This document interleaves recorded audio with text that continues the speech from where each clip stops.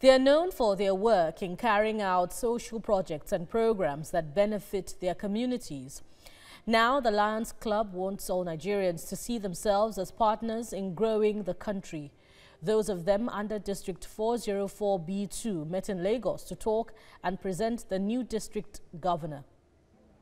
Since the return to democracy in 1999, different governments in Nigeria have found it difficult providing basic social needs for Nigeria's nearly 200 million population. As members of the Lions Club International District 404B2 gather in Lagos, they say the situation is sad for a country that has its citizens as some of Africa's richest people.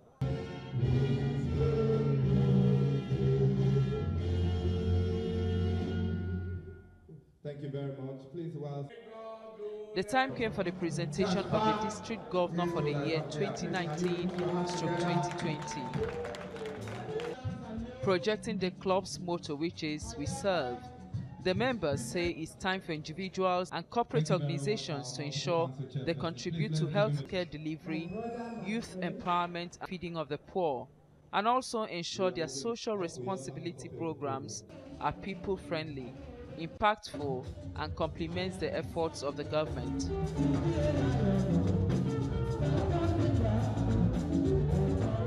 All over the world, there is no place the government in totality satisfies the citizenry.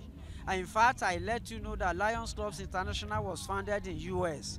If the US government could take care of the whole needs of the citizens, then there wouldn't have been need for Lions Clubs Inter International to come on board. They came on board over 100 years ago and they are still there. For this particular year, we are focusing mostly on diabetes and vision. Now, we want to also revive one of our age-long uh, service activity which we have not done for quite some time, and that is uh, adult education. We have cancer screening center at uh, Lagos State University Teaching Hospital. We have Ilukoju Diabetes Center. Go to Isolo General Hospital, you also find our eye center there, all being used, being patronized by Nigerians and people and uh, people from other West African coasts. One of the 2019-2020 targets is the completion and delivery of the Lions Club Diabetic Screening and Treatment Center at Ekiti State University Teaching Hospital. Ivy Kano, TVC News, Lagos.